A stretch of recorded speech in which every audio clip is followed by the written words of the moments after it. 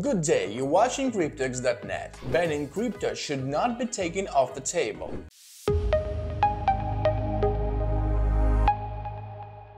IMF Managing Director Kristalina Georgieva has stated that banning cryptocurrency should not be completely ruled out if they pose higher risks to financial stability. In an interview with Bloomberg, she emphasized the need for regulating the world of digital money, citing it as a top priority for the Financial Stability Board, the IMF and the Bank for International Settlements. Georgieva pointed out that if the regulation is slow to come and crypto assets become a higher risk for consumers and potentially for financial stability, the option of banning cryptocurrencies should not be taken off the table, citing countries like India that explored such a possibility in the past. Georgieva also spoke about risk of proof of stake, which could concentrate power to crypto exchanges. She emphasized the need for greater predictability and consumer protection to avoid the need for extreme measures like banning cryptocurrencies. Last year, the IMF said the regulations of cryptocurrencies should not be seen as stifling innovations but rather as building trust. Georgieva said that there is still a lot of confusion about digital money and that the IMF's first objective is to differentiate between central bank digital currencies and publicly issued crypto assets and stablecoins. Georgieva believes that state-blocked stablecoins have reliably and reasonably good space for the economy, whereas as non-backed crypto assets are speculative. High-risk investments investments and not money. The recent G20 meeting in India recommended the creation of global regulation standards for the industry, including stablecoins. Georgieva cited a paper released during the meeting stating that crypto assets cannot be legal tender because they don't have a definition of money. The Ministry of Finance of India, during a panel discussion at the meeting, stated that there is also an existential question on whether crypto assets are indeed the